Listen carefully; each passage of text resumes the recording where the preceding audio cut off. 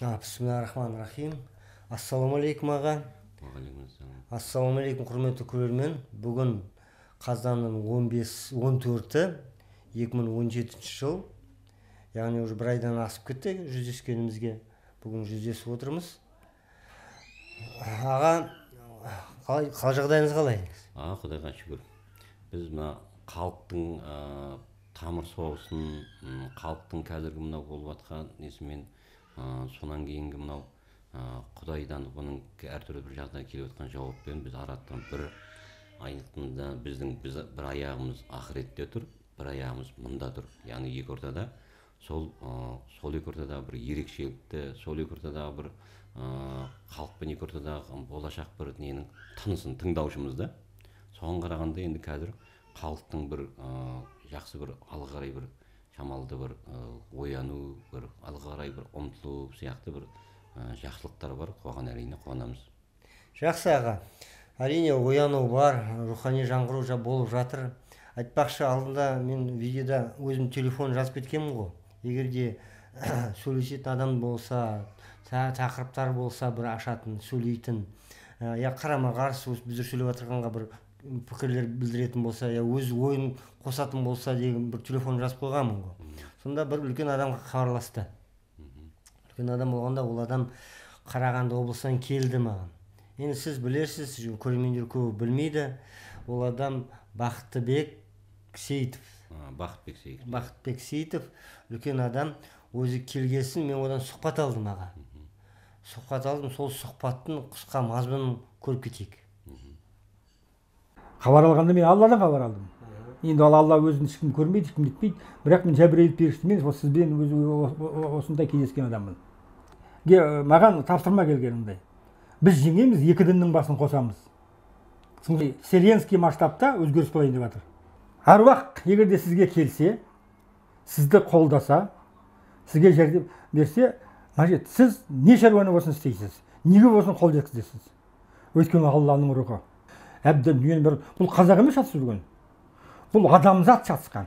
Біз деген алла және оның елшілері. Сонда сондықтан да біз жеңеміз.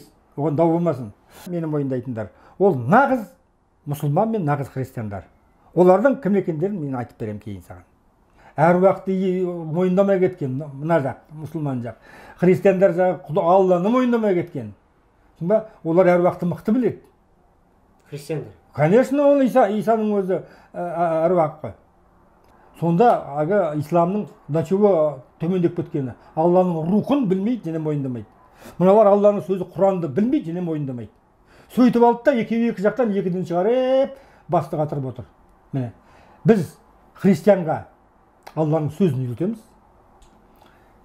Исламға алланың рухын үйретеміз. Әруақтың не екенін. Сіз елшісіз. Елшімін. Иншаллах.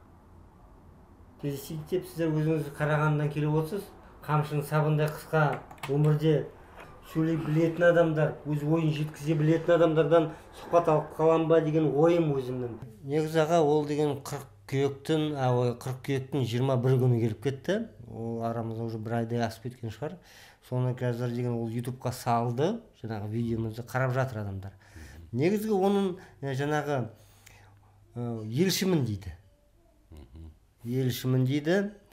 Негізі қазақстанда ислам діні мен христиан дінінің басы қосылу керек дейді. Өйткені дейді мен қысқаша айтып кетейін да оны көзқарасын мен түсінген менің түсінгенімше. Өйткені христианство христианство болғанда жаңағы православный православный өте жақсы аруақты меңгерген дейді. Ал ислам болса ислам болса аруақты меңгермеген бірақ алланы таныған дейді. А христиандар аруақты меңгерген бірақ алланы танымаған дейді. Сондықтан біздің қазақстанда екі, екі діннің басы қосылу керек дейді. Оған не дейсіз мен енді ә, біріншіден сол бақытбекті көптен танимын. Кезінде бірге бір ана кітап бір кітап шығарып соған бір шамалы таратып арасында сосын кейіннен хабарласқанбыз да. Жалпы енді ә, ата жолы дегенге қазіргі мына дін масхабқа қарасаң тек мына масхабта болсын ханафи масхаб намаз оқуың керек бес уақыт. Егер сен намаз оқымасаң мен осыны сұрақты қойдым тағы имамдарға онда мен егер де намаз оқымайтын болсам онда масхабта жоқпын ғой деп. Солай ғой иә дейді мінекей. Солай мойындады. Мен ақтөбеден де сұрадым. Сол сияқты енді ә, біздің тарихатымыз тарихатшылар бар сопылық ізденіп жатыр. Бұл дінде ізденгеннің бәрін жаман деуге болмайды. Әйтеуір бәрінде әйтеуір бір ә, іштерінде жақсылық бір несі болады ішінде бір жарығы болады соны көбейтуге. Сонан құрбанәлі құрбанәлі ишан дейді соның тарихатшыларынан сұрадым. Егер де мен енді құрбанәлі қол бермесем онда тарихатта жоқпын ғой деп. Жоқпын. Яғни онда діннің олардың ұғымы солай енді. Дін дегеніміз яғни мына тарихат болу керек соны қамту керек. Құрбанәліге жаңағыдай өзің бір пірлерге қол беру керек. Ондай болмаса сен онда жоқсың. Яғни демек онда дінде жоқсың сол сияқты масхаб деген масхаб Масхаб деген не, масхаб масхаб енді тарихат деген сол мына дін шариғатты меңгеріп сонан жоғары сопылық дәрежеге шығару яғни құдайға жеке жеке жол іздеу керек қой бірақ енді олар құдайға жеке жеке жол іздеу емес бір адам арқылы жол іздеп кетті да яғни бір бір адам қол беру керек сол құдайға құдайдың хабарын сол жеткізуші яғни елшілік тұрғыда. Көрермендер біле Иә. отырсын масхаб деген не ал енді масхаб дегеніміз осы кәдімгі дін шариғат тазалық ұстау адамның осы қалай дейді енді айтқанда біз бір өмірге біз мына өмірдің заңдылығына сәйкес алланың бұйырған осы бұйырған жаңа парыздарына сәйкес өмір сүру. Яғни секта бұны деуге бұрын- бола ма? бұны паршылар деп жоқ енді бұны ә, секті дегеннен гөрі ә, дін тобы деп секті деген өздерінше бір ә, құранда жоқ например кітаптарында жоқ басқа бір нәрселерді өздерінше соны амал қылып алу ол секта болады да ал егер де мына құранмен жүретін болса пайғамбарымыз суретін жүретін болса олар сектаға жатпайды ол енді діннің тобы болады осылай діннің топтары қазақта енді мына ә, салафизм ә, осы бұрынғы мына ваххабизм дегендердің бәрі осы діннің топтары бірақ діннің топтары болады да олар өздерінше енді тағы бір амалдар жетілдірген. Алланы яғни ол сол арқылы қолын шошайтып отырсаң аллаға тез барасың.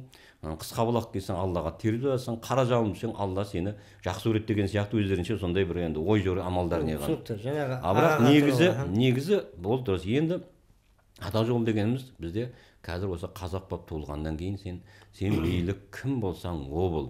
Сен атаның жолындасың себебі неге? Сен әруаққа байланып тұрсың. Сенің біздің ата бабаларымыздың бәрі қазақ деген бабамыздан туады. Біздің біздің бәріміздің әруағымыз бір яғни айтқанда. Біздің шыққан тегіміз бір.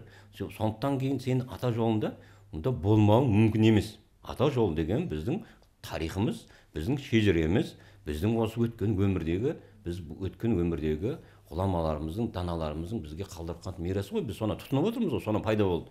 Енді мен ата жолында емеспін дегеннің өзі ақымақтық та. Сондықтан енді дін деген не? Дін деген амандық. Дін деген адалдық. Дін деген на- насихат. Яғни дін біздің мына туғаннан ә, тал жер бесіктен тал бесік тал бесіктен жер бесікке дейінгі араны қамту керек мінекей. Дін деген сол. енді уақытбек алтын қазір сондай біздің 16 топ бар. Сондықтан қазіргі бақытбек болсын мейлі қандай болсын анау ә, аққу сұңқарым деп көтін ашып жүрген осылардың бәрі ата жолында. Енді бірақ соларға қарап ата жолы мынандай екен деп баға беруге болмайды. Бұнда енді өзің сияқты азаматтар да жүр мінекей зерттеніп жатыр үлкен мына сопылық тұрғыда мысалы біздің шәкірттеріміз бар сопылық тұрғыда зерттеп ізденіп жатыр осындай меңгеріп жатырмыз құранның үніне жалғанып жатырмыз біздің енді осы қазақ халқына ортақ мен қандай болсын кітабымыз бар. Ол абай шәкәрімнен нәралады ол яссауи бабамыздан нәралады ол сандық тұрғыда соны маған жаздырып жатыр. Енді бақытбек те осының сол арасында үлес қосып жүргеннің бірі. Мен оған ертеректе соны айттым. Ә, бақытбек өзімен келісіп сен кітап бірге шығарайық осы қарағанды осыны бірге жасың келген деген сонда айтты. Ол бірден бас тартты кейіннен барып ә, бір елшімін деген әңгіме шықты. Мен елшімін сен маған қол беруің керек дейді. Айналайын біздің бүкіл ата тегіміздің бәрі кезінде укача сахаба барып пайғамбарымызға қол берген ғой қазақтың атынан. Пайғамбарымызға қол берген. Яғни біз қазір қол бергенімізді сол уәдемізді сертімізді айтып ля иляха илля мұхаммад расулалла деген біздің берген сертіміз біздің берген уәдеміз біздің берген қолымыз. Онан артық не жоқ. Аллаға біз осылай енді мұхаммед ә, алланың елшісі. Алладан басқа тәңір деп біз енді тәңір деген не? Осы біз бір бірімізді тәңір қылып алмауымыз керек та. Ә, тіптен мысалы елбасынан артық ал осы қазаққа жақсылық жасап жатқан елбасымыздан бастап осы қызмет жасап жатқан біздің қандай жағдайдан осы әйтеуір өндіріске тамаққа нанымызға бәріміз тәуелді ғой. Ол жеп жүрген нанды ол теріс деуге болмайды бірақ айналып келгенде ә, сол қанша елбасымыз бір ол осындай бір халықты осы өндіріс жағынан білімді шығар бәрін жақсартқанмен әлемге бір бедел шығар. Бірақ рухани жағынан біз керісінше керек етіп қалдық. Өйткені неге? Мынау біз осынан біз кәдімгі осы заңға шоқынып кеттік. Біз айналып келгенде осындай бір білімді ы, білімге табынып кеттік. Қазір масхабтың өзі білімге табын біз құдай туралы бізде ұғым жоғалып бара жатыр да. Өйткені құдай деген бәрімізге ортақ бәріміздің иеміз ғой құдай деген. Сондықтан қандай біз жақсылыққа түсейік жаманшылыққа түсейік біз осындай өзара пік- пікір таласта құранда айтып отыр біз осылардың не құдайдан сұрауымыз керек та. Құдайдан сұрауымыз керек ақ қарасын ажыратуды. Енді сол үшін біздің мінекей намазымыз біздің осы оразамыз зекетіміз осы құлшылықтарымыздың бәрі біз құдайдан өзімізге жауап алатындай дәрежеге апармайтын болса оның бәрі ана екі ортадағы жалған тәңірге табынып кетеміз біз. Яғни бір бірімізді тәңір қылып аламыз мінекей. Алладан басқа тәңір жоқ деген ұғымымыз сол енді елші екенін енді елші осы адамзаттың бәрі елші болып туады. Ол құранда айтылған Мұх- мұхаммед пайғамбарымыздың мұхаммед оларға айт ы, мен сендердің мәңгі өмір бойы іштеріңде болдым ғой сонда да түсінбейсіңдер ма? деп. Яғни әрбір адам алламен екі ортадағы елші болған сол дәрежеге меңгеруге код беріп қойған мінекей. Сондықтан кез келген анау тұрған көшеде жатқан алқаштың өзі ол жаман деуге болмайды оның да ішінде алланың құдайлық бір болмысы бар. Егер де бізде құдайлық нұрымыз бәріміз елшіміз бірақ енді мұның бір дәрежесі бар. Әр заманның бұрынғы замандарда мүмкін бақыт бақытбай сияқтылар мүмкін әулие санап халықтың бәрі осындай құрметтеуге лайық шығар. А қазіргі заманда бізде бәріміз бұл заман бөлек. Біздің заман әр, әр ба- бас жас балаға дейін қазір білімді заман. Әркім біз өзіміз білімменен өзіміз ізденіп табуымыз керек. Сен бізге тек олар бұның біздің қателігіміз не? Біз білімді біз беруіміз керек та. Бірақ сол жұрттың бәрінің сұрағына мына имамдар айтқандай мен ғана жауап беремін деген осы қателік.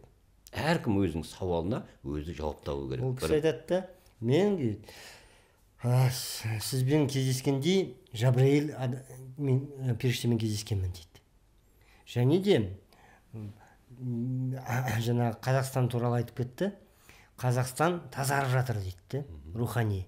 Яғни бірінші кашпировскийлар болды дейді кезінде деген жаңағы экстрасенстар. өтті дейді әулиелер өтті дейді сары әулиелер өтті дейді.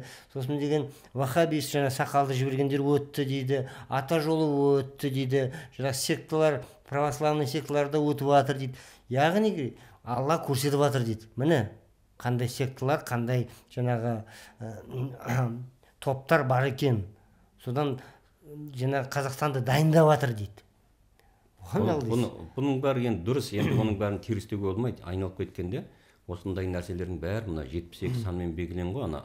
Біз жындық жетпіс екі түрлі қылықты меңгеруіміз керек. Сондықтан бізде қазір адамдар мен жындарды өзіме құлшылық үшін жараттым деген соны біз қазір осынан көрсетіп біз айналып келгенде қазір бәріміз де жындымыз да. Жынды емеспін деп айтатын болсаң онда сен әулие болғаның да. Сен әулиесің дерің егер де сен жынды болдың ба демек қателік бар.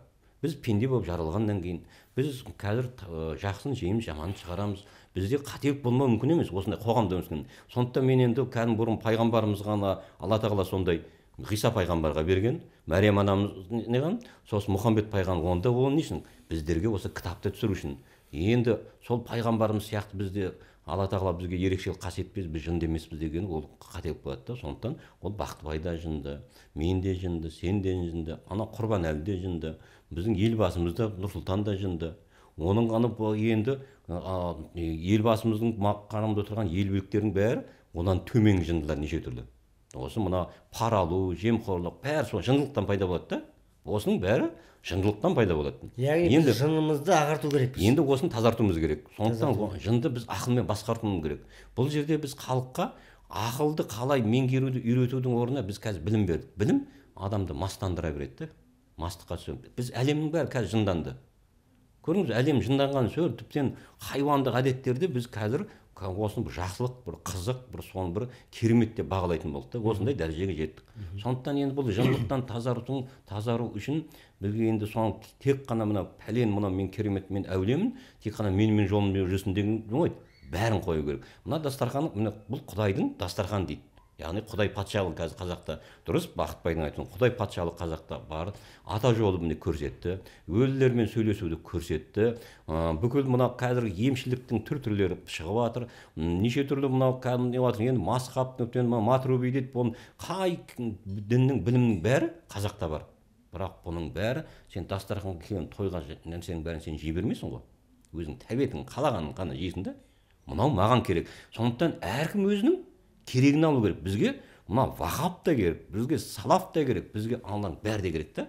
Бірақ енді ол үшін не керек? Сен мынаны сен ана вахабизм болып кетті сен құлақ қаласың сен бүйтіп қаласың деп балда, балаға сен қалай тәрбиелейсің?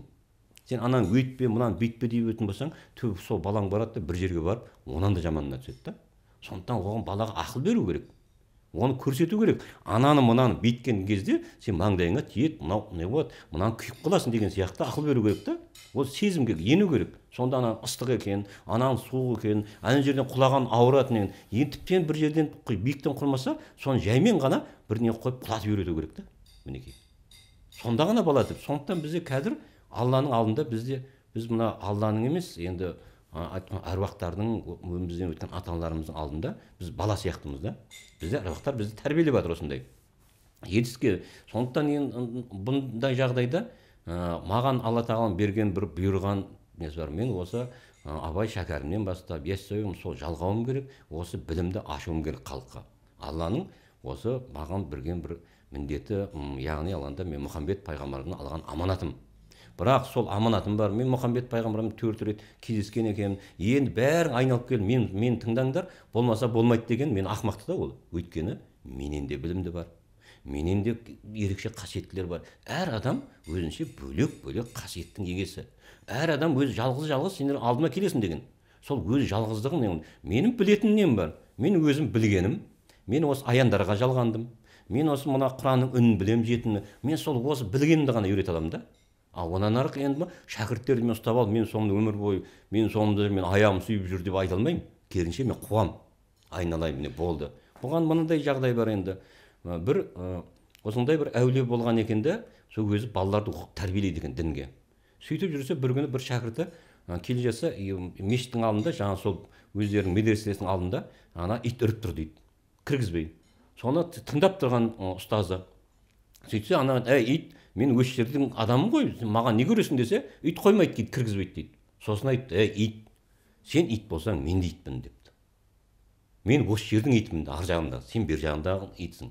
Екеуміз де итпіз. Ит итке үре ма депті да мұның қалай десе сөйтсе ит үндемей құйрығын қысып алды да кетіп қалыпты. Соны ұстазы тыңдап тұрып та кіргеннен кейін маған ана шатырға әкелдім деген дипломды. Әкеліп та мынаған жаза бастапты. Отыр. Сен болды сонымен сенің білімің осы жерден аяқталды деп. Сосын айтты ұстаз бұның өзін мен шамалақ оқыдым ғой. Мен әлі үйренуім керек деп. Жоқ депті. Біз саған білім де бермейміз біз саған менің үйретуім сендерге тәкаппарлықтан меңгеруді. Сен тәкаппарлықты сен өз ит екеніңді мойындап тәкаппарлықты енді жеңдің енді саған ілім де білім де қонады деп сол қолына диплом жазып берген екен.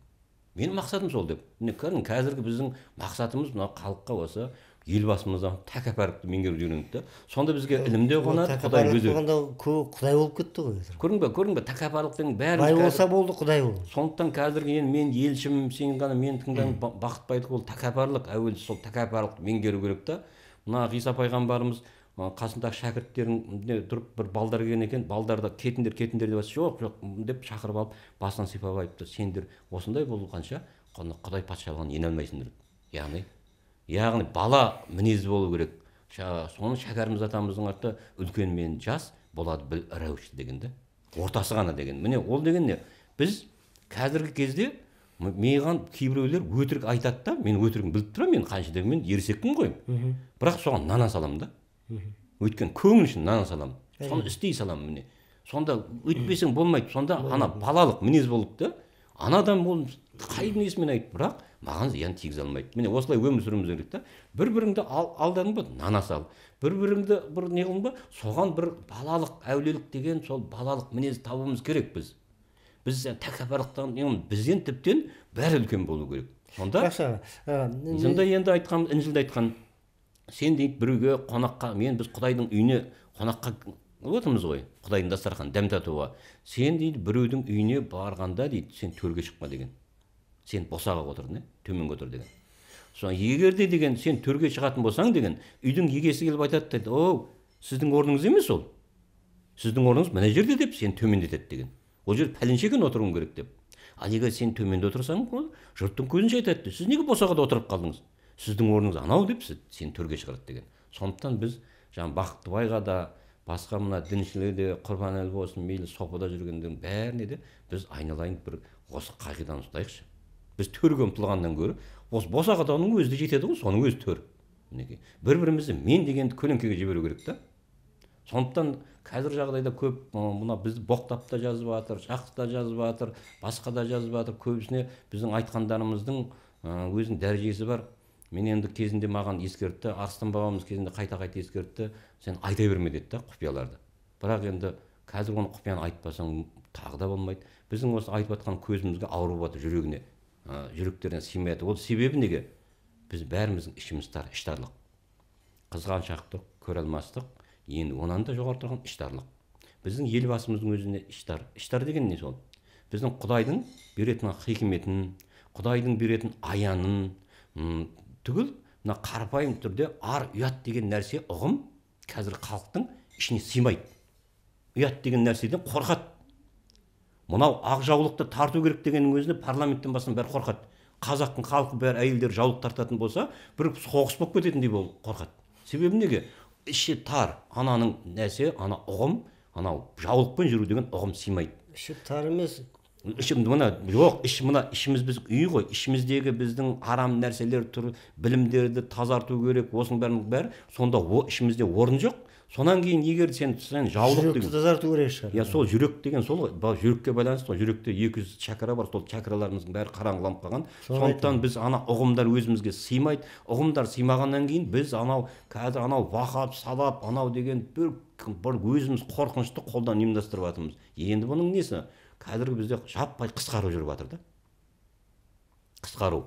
Бізде ар ұят қысқарып кетті ма ұлжан қысқарып кетті ма қазақтың дәстүрінің бәрі қысқарып кетті ма? Оның орнына кәдімгі еркіндік дегенді керісінше осының бәрі біз ана ұзындық ақылдың ұзындығын қысқарттық.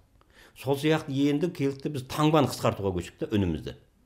Қысқарудан кейін бұдан кейін әр әр нәрсені қысқарған сайын оның жиілігі де қысқарады адамда өзінен өзі қорқыныш пайда болады. Қазіргі адамдарда енді кө- көбісінде бәрінде қорқады. Жұмыстан босанып қалдым деп қорқады. Менің әйелім тастап кетеді деп қорқады. Кедей болып қаламын деп қорқады. Біз қазір мына рухани ой міне неге келіп тұрмыз? Рухани рухани адамдарды ояту үшін біз ақылымызды ұзартуымыз керек.